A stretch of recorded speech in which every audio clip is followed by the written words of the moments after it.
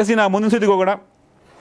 ಪಾಕಿಸ್ತಾನದ ಕತೆ, ಪಾಕಿಸ್ತಾನದ ಮಾಜಿ ಪ್ರಧಾನಿ ಇಮ್ರಾನ್ ಖಾನ್ ಅರೆಸ್ಟ್ ಆಗ್ತಾರೆ ಸೊ ಅರೆಸ್ಟ್ ಮಾಡಿ ಅವರಿಗೆ ಮೂರು ವರ್ಷಗಳ ಕಾಲ ಜೈಲ್ ಶಿಕ್ಷೆ ಆಗಿದೆ. ಅಲ್ಲಿನ ಪಾಕಿಸ್ತಾನದ ಕೋರ್ಟು ಜೈಲ್ ಶಿಕ್ಷೆಯನ್ನು ಕೊಟ್ಟಿದೆ. ಯಾಕಪ್ಪ ಅಂದರೆ ಮಹತ್ವದ ಬೆಳವಣಿಗೆಯಲ್ಲಿ ಪಾಕಿಸ್ತಾನದ Tehreek e Insaf, P T I, ಪಕ್ಷದ ಹೆಸರದು, ಮುಖ್ಯಸ್ಥ ಇಮ್ರಾನ್ ಖಾನ್ಗೆ ಮೂರು ವರ್ಷಗಳ ಜೈಲು ಶಿಕ್ಷೆ ಆಗಿದೆ. ಪಾಕಿಸ್ತಾನದ ಜಿಲ್ಲಾ ಮತ್ತು ಸೆಷನ್ಸ್ ನ್ಯಾಯಾಲಯ ಇಮ್ರಾನ್ ಖಾನ್ ಇಮ್ರಾನ್ ಖಾನ್ ಅವರನ್ನು ತೋಷಾಖಾನ ಪ್ರಕರಣದಲ್ಲಿ ದೋಷಿ ಅಂತ ತೀರ್ಪು ನೀಡಿ ಮೂರು ವರ್ಷಗಳ ಜೈಲು ಶಿಕ್ಷೆ, ಜೊತೆಗೆ ಒಂದು ಲಕ್ಷ ರೂಪಾಯಿ ದಂಡವನ್ನು ವಿಧಿಸಿದೆ.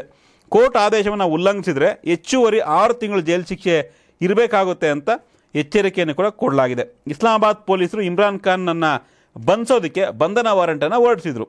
ಈ ತೀರ್ಪಿನಿಂದಾಗಿ ಐದು ವರ್ಷಗಳ ಅವಧಿಗೆ ರಾಜಕೀಯದಿಂದ ಅನರ್ಹಗೊಳಿಸಲಾಗಿದೆ ಇಮ್ರಾನ್ ಖಾನ್. ಆದರೆ ಖಾನ್ ವಿಚಾರಣೆಗೆ ಹಾಜರಾಗಿರಲಿಲ್ಲ. ಹೀಗಾಗಿ ನ್ಯಾಯಾಧೀಶರು ಅವರನ್ನು ಬಂಧಿಸೋದಕ್ಕೆ ಆದೇಶವನ್ನು ಕೊಟ್ಟಿದ್ದರು ಆದರೆ ತಕ್ಷಣವೇ ಮೇಲ್ಮನವಿ ಸಲ್ಲಿಸೋದಾಗಿ ಅವರ ಕಾನೂನು ತಂಡ ಏನೋ ಹೇಳಿದೆ. ಇನ್ನು ಇಮ್ರಾನ್ ಖಾನ್ ದೇಶಾದ್ಯಂತ ಅಂದರೆ ಪಾಕಿಸ್ತಾನದಲ್ಲಿ ನೂರ ನಲವತ್ತಕ್ಕೂ ಹೆಚ್ಚು ಪ್ರಕರಣಗಳನ್ನು ಎದುರಿಸ್ತಾ ಇದ್ದಾರೆ. ಭಯೋತ್ಪಾದನೆ, ಹಿಂಸಾಚಾರ, ಧರ್ಮನಿಂದನೆ, ಭ್ರಷ್ಟಾಚಾರ ಮತ್ತು ಕೊಲೆಯಂತಹ ಆರೋಪಗಳನ್ನು ಎದುರಿಸ್ತಾ ಇದ್ದಾರೆ. ಅಕ್ಟೋಬರ್ ಇಪ್ಪತ್ತೊಂದು, ಎರಡು ಸಾವಿರದ ಇಪ್ಪತ್ತೆರಡರಂದು ಪಾಕಿಸ್ತಾನದ ಚುನಾವಣಾ ಆಯೋಗವು ಇಮ್ರಾನ್ ಖಾನ್ ಅವರನ್ನು ಸುಳ್ಳು ಹೇಳಿಕೆಗಳು ಮತ್ತು ತಪ್ಪು ಘೋಷಣೆಗಾಗಿ ಅನರ್ಹಗೊಳಿಸಿದ್ರು. ನಂತರ ತೋಷಾಖಾನ ವಿಷಯವು ರಾಷ್ಟ್ರೀಯ ರಾಜಕಾರಣದಲ್ಲಿ ತುಂಬ ಮುನ್ನೆಲೆಗೆ ಬಂದಿತ್ತು.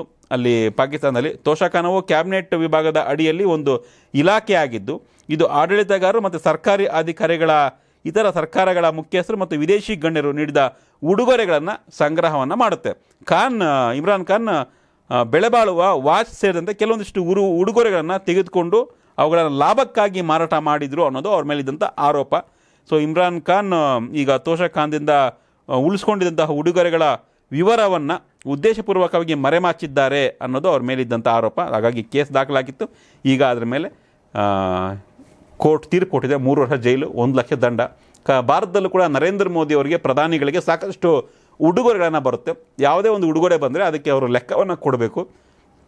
ಅದು ವೈಯಕ್ತಿಕ ಉಡುಗೊರೆನ ಅದು ಕೂಡ ಲೆಕ್ಕ ಕೊಡಬೇಕಾಗುತ್ತೆ. ಸರ್ಕಾರಕ್ಕೆ ಬಂದ ಉಡುಗೊರೆ ಆದರೆ ಲೆಕ್ಕ ಕೊಡಬೇಕಾಗುತ್ತೆ. ಸಹಜವಾಗಿ ನರೇಂದ್ರ ಮೋದಿ ಅವರು ಪ್ರಧಾನಿ ಆದಮೇಲೆ ತಮಗೆ ಬಂದಂತಹ ಉಡುಗೊರೆಗಳನ್ನು ಹರಾಜಾಕಿ ಆ ಒಂದು ಹಣವನ್ನು ಪಿ ಎಂ ಕೇರ್ ಫಂಡ್ಗೋ ಅಥವಾ ಬೇರೆ ಬೇರೆ ಚಾರಿಟಿಗಳಿಗೆ ಉಪಯೋಗವನ್ನು ಮಾಡ್ತಾರೆ. ಬಟ್ ಪಾಕಿಸ್ತಾನ ಗೊತ್ತಲ್ಲ, ಪಾಪರ್ ದೇಶ. ಯಾರಿಗೂ ಗೊತ್ತಾಗದೇ ಇರೋಂಗೆ ಅವರೇ ಫುಲ್ ಮಾರ್ಕೊಂಡು ಮಜಾ ಮಾಡಿದ್ದಾರೆ ಇಮ್ರಾನ್ ಖಾನ್. ಈಗ ಅರೆಸ್ಟ್ ಆಗ್ತಾರೆ.